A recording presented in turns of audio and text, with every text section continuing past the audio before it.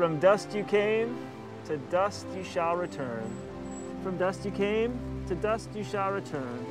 You are what God made you to be, created in Christ Jesus for good works, chosen as holy and beloved, freed to serve your neighbor. God bless you, that you may be a blessing. In the name of the holy and life giving Trinity, Amen.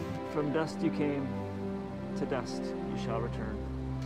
You are what God made you to be, created in Christ Jesus for good works, chosen as holy and beloved, free to serve your neighbor.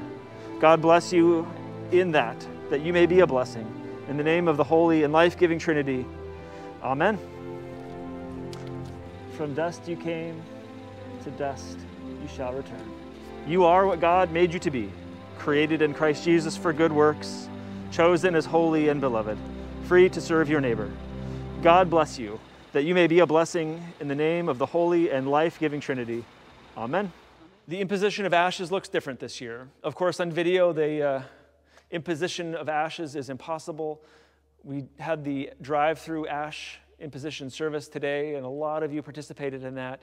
It was nice to see you and nice to begin this journey of Lent in that way. If you were not able to be there, that's okay. I completely understand. At this point of our Ash Wednesday video service, though, I just invite you to take a moment to take your own finger and trace the sign of the cross on your forehead. For this moment, remember your mortality. Remember the precious and precarious gift of this life. And remember that sign of the cross with which you were marked in your own baptism, a sign of life and promise and hope. And as those two symbols come together, remember that you're immortal. Remember that God is with us. And in that sign of the cross, remember that life is God's final word for us.